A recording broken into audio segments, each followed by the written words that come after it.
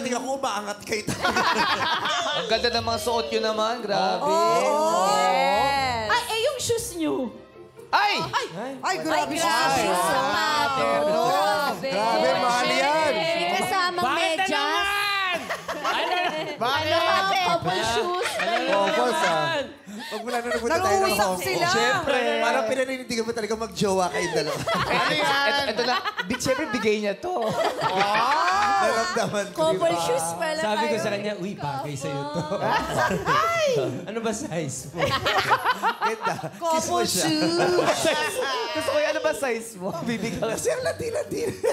Magka-room- Magka-roommate pa yan, ha? Roommates pa yan. Oy, grabe, ang saya-saya natin. Ryan, tapos na yung electric pan. Nagawa. Bakit electric pa?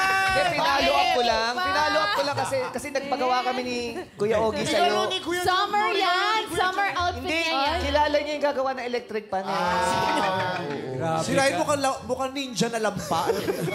Ba't ninja? Ba't ninja ba lampa? Anong lampa?